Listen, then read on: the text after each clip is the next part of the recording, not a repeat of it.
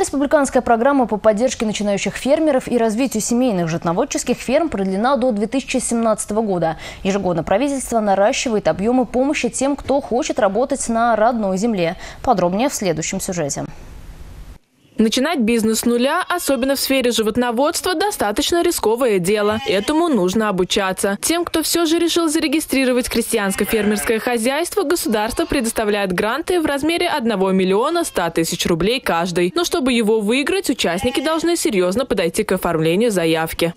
Конкурсная комиссия принимает во внимание то, какие земли есть у фермера, какая у него текущая материальная база, а также его стремление развивать сельскохозяйственное производство, то есть его планы на ближайшие пять лет. В Чувашии за время реализации программы финансовую поддержку получил 151 начинающий фермер. Претендентов на последующие гранты меньше не становится. Так, хозяйство Юрия Поймякова уже достаточно большое, но он планирует расширяться и опять рассчитывает на помощь государства.